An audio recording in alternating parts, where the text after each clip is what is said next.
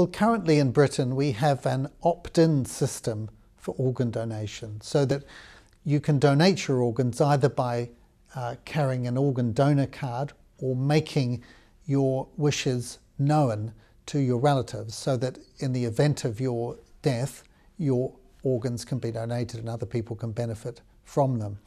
What the Welsh Government wants to do is to change the law to an opt out system, whereby effectively the, uh, the dead body would become the uh, property of the state, and whether you'd wanted it or not, or whatever your relatives thought, they could be overruled and your organs taken.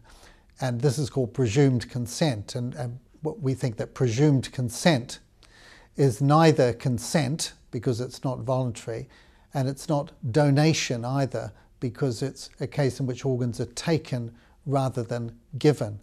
We're strongly in support of organ donation, but we believe that organ donation should always be a gift and that there shouldn't be coercion involved and that people should be able to make a voluntary decision about it. So we're very concerned about this and this is why we've sent out the press release and I've posted these concerns in the blog. We think that presumed consent is wrong for two reasons. Firstly, it's unnecessary. There's no real evidence to show that it will increase the number of organs available. There are other better ethical ways of doing that, like better publicity, making more uh, organ donor coordinators available, better intensive care, and so on.